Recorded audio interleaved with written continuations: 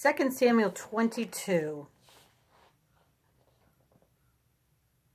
And David spake unto the Lord the words of this song in the day that the Lord had delivered him out of the hand of all his enemies and out of the hand of Saul. And he said, The Lord is my rock and my fortress and my deliverer, the God of my rock, in him will I trust. He is my shield and the horn of my salvation, my high tower and my refuge, my Savior. Thou savest me from violence. I will call on the Lord, who is worthy to be praised. So shall I be saved from mine enemies. When the waves of death compassed me, the floods of ungodly men made me afraid. The sorrows of hell compassed me about. The snares of death prevented me. In my distress I called upon the Lord and cried to my God. And he did hear my voice out of his temple. My cry did enter into his ears. Then the earth shook and trembled. The foundations of heaven moved and shook, because he was wroth. There went up a smoke out of his nostrils, and fire out of his mouth devoured. Coals were kindled by it.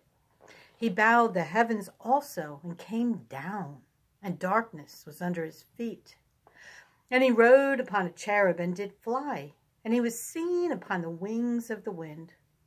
And he made darkness pavilions round about him, dark waters and thick clouds of the skies.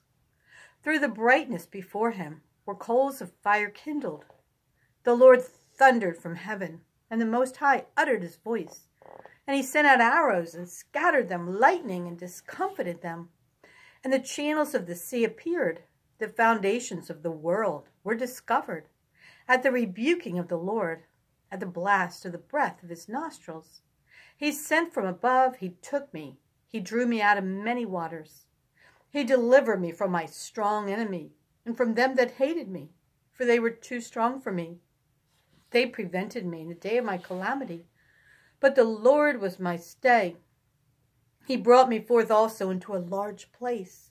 He delivered me because he delighted in me. The Lord rewarded me according to my righteousness. According to the cleanness of my hands hath he recompensed me. For I have kept the ways of the Lord, and have not wickedly departed from my God. For all his judgments were before me, and as for his statutes, I did not depart from them. I was also upright before him, and have kept myself from my iniquity. Therefore the Lord hath recompensed me according to my righteousness, according to my cleanness in his eyesight. With the merciful thou wouldst show thyself merciful, and with the upright man thou wouldst show thyself upright. With the pure thou wouldst show thyself pure, and with the froward thou wouldst show thyself unsavory and the afflicted people thou wilt save. But thine eyes are upon the haughty, that thou mayest bring them down. For thou art my lamp, O Lord, and the Lord will lighten my darkness. For by thee I have run through a troop. By my God have I leaped over a wall. As for God, his way is perfect. The word of the Lord is tried. He is a buckler to all them that trust in him. For who is God, save the Lord? And who is a rock, save our God. God is my strength and power, and he maketh my way perfect. He maketh my feet like hinds' feet, and setteth me upon my high places. He teacheth my hands to war, so that a bow of steel is broken by mine arms.